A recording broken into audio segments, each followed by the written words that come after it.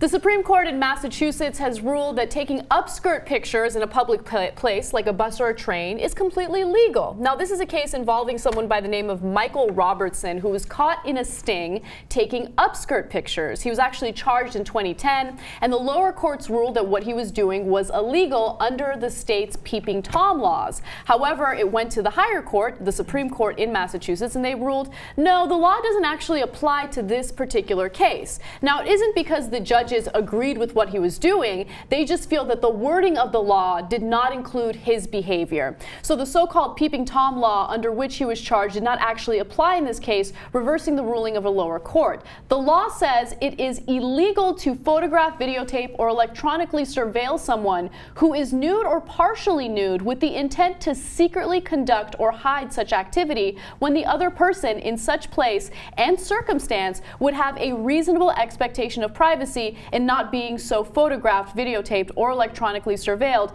and without that person's knowledge and consent. So the, the judges in this case ruled that, hey, you know what? Since uh, you are in a public place as a woman, you have no reasonable ex expectation of privacy. And on top of that, since you are wearing panties, it's totally legal because you're not nude or partially nude. So this gives him the ability to take these pictures and it's 100% legal. Okay, so now there's actually one and a half have other parts of that. The judge, to be clear, said since you're not nude or partially nude, it actually doesn't even matter whether you're wearing panties or not. Mm-hmm. They talked in the uh, ruling about it doesn't matter what's underneath your skirt or not underneath your skirt. Can I can I read it uh, sure. verbatim? I found this really interesting. A female passenger on an MBTA trolley who is wearing a skirt, dress, or the like covering these parts of her body is not a person who is, quote, partially nude, no matter what is or is not underneath the skirt by way of underwear or other clothing. So just because you're wearing a skirt, you're not considered partially nude. Even if you're not wearing underwear, under the uh, under their interpretation of their peeping tom law. Okay, so I think that that's fair. Uh, now the problem is the law, right? So, and by the way, I'm not saying the whole thing is fair. I'm saying it's fair that they're not partially nude if they're wearing a skirt. That doesn't seem like a right Couldn't ruling. you make the argument that you are partially nude if you're not wearing a skirt? You could panties? make the argument that you're partially nude on anything. I'm, uh, my hands are exposed, mm-hmm. right? I mean, so are we going to say women wearing skirts are partially nude, but women wearing shorts are not partially nude?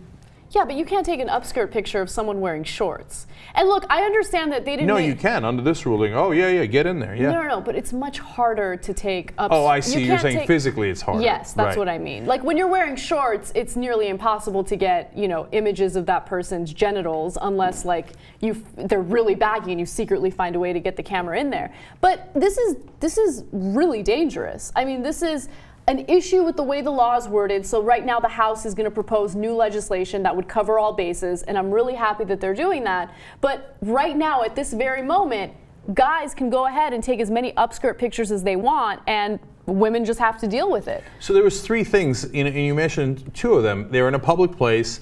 The woman is not nude or partially nude. Plus, he's not hiding what he's doing. Mm-hmm. Okay, so that was the third part of the ruling. So it, there's an irony there, which is that if you're a brazen asshole and you literally like get in like on the floor of the subway and start taking pictures up a girl's skirt, you're even more covered. You're less guilty, right? And you want to know what's been happening with uh, this type of activity in Massachusetts since this case happened? Um, more and more people are taking upskirt photos. And oh, after how this, shocking! Yeah, and now that this makes even bigger news, they're going to do it even more. So they got to change the law. This, this, you can't have people going around like and it's not just pictures; they can take video. video. Like, and they're just like shoving video cameras under people's skirts. It's it's crazy. You're gonna have a breakdown of order. It's obviously the wrong way to go. But right now, in Massachusetts, perfectly legal. And you know, for all the people out there that are loving this because they think that it's awesome that you can take upskirt pictures, just think about like your sister, your female cousins, just family members, your own girlfriend. Do you really want to know that some guy can take these types of pictures, violate them like that? I mean, post them all over the internet, do whatever the hell they want. It's disgusting. If I was in Massachusetts right now, I'd be wearing pants at all times until the House passes or, you know, the, the lawmakers in the state pass the new law. Yeah, I mean, think about that one last thought there. Some creepy guy is going to take video and then put it on the internet of your daughter. You tell me you're not going to break that camera? You're telling me we're not going to have breakdown of uh, order on the streets? I mean, there's going to be, unfortunately, physical assaults, like if they keep that up, right? I mean, Oh, there, there would be a fucking physical assault. There's no question about that. Come, coming to me with that fucking camera. Okay, I, you know, look, uh, uh, we don't want to encourage any of that. We don't want to encourage either Yeah, side yeah. of that, right? But it's, it's asking for trouble, man. So they got to fix it as soon as possible.